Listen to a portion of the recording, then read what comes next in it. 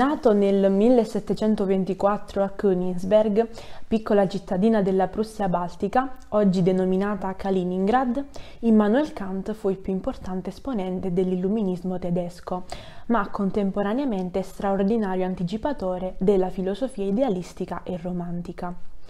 Questa sua ambivalenza ha portato i suoi studiosi a definirlo Giano Bifronte, dal nome del dio romano raffigurato con due volti, perché contemporaneamente poteva guardare sia il passato che il futuro.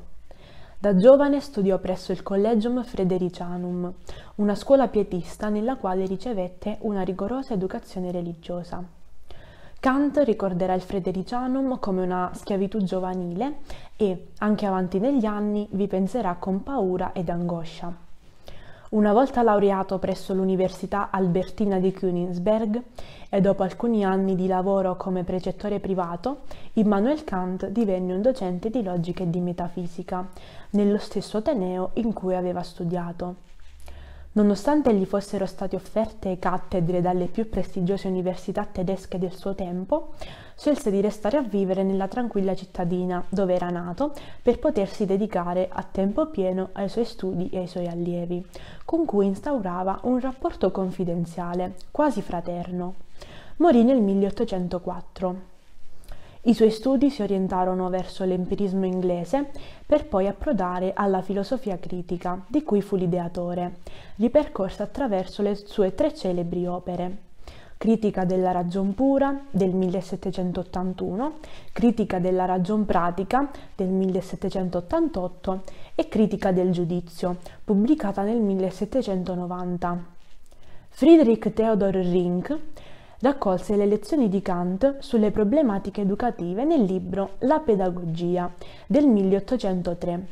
Pur ammettendo che l'interesse principale di Kant fu la filosofia, a scapito di altre ricerche, il suo fugace avventurarsi nel mondo della pedagogia va sottolineato sia per l'ammirazione che egli stesso professava per Rousseau, verso cui diceva di sentirsi in debito, sia perché la sua mediazione tra la cultura illuministica e quella romantica finì con l'influenzare la visione pedagogica di quest'ultima.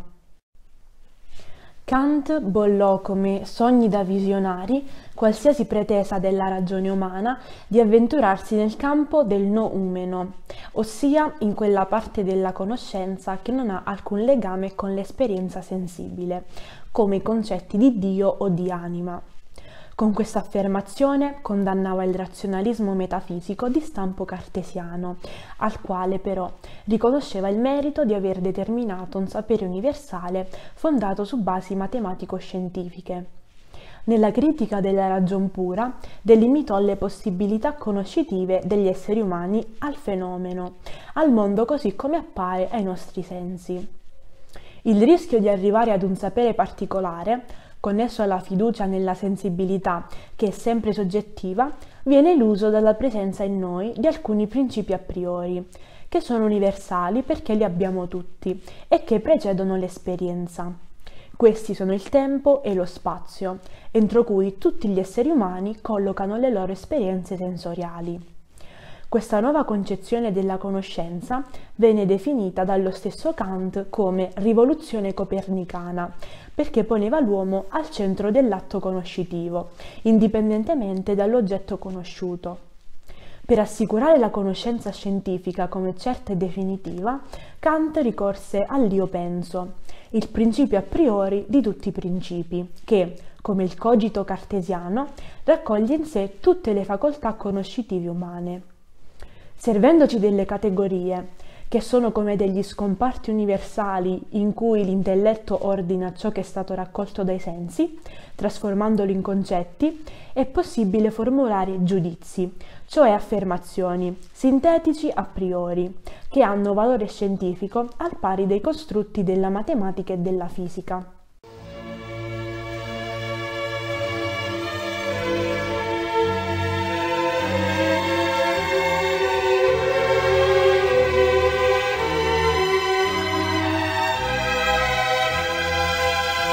Nella critica della ragion pratica, Kant si avventura nel campo della morale. È possibile definire un'azione buona di per sé senza incorrere in valutazioni legate al caso o all'opportunità? L'unica strada percorribile è quella di fondare la morale sull'imperativo categorico o legge morale, un principio che è in ciascuno di noi. Ancora una volta ritorna l'idea della rivoluzione copernicana. Compiendo un'azione fondata sul dovere per il dovere, cioè svincolata da qualsiasi interesse o vincolo, avremo compiuto un'azione davvero morale. Resta un problema di fondo.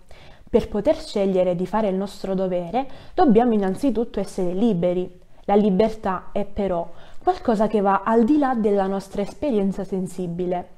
Appartiene proprio a quel mondo del noumeno che Kant aveva posto al di fuori delle nostre possibilità conoscitive. Quindi è ipotizzabile che esistano altre realtà oltre quella fenomenica. Il filosofo prussiano sostiene che possiamo postulare l'esistenza di Dio come di un essere che ci premierà per la nostra scelta di essere rigorosamente morali, anche a scapito della nostra felicità terrena.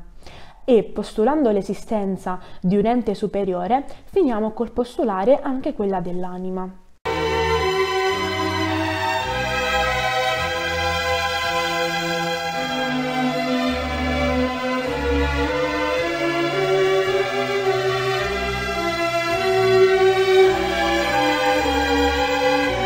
Principi pedagogici kantiani derivano direttamente dalle affermazioni della critica della ragion pratica.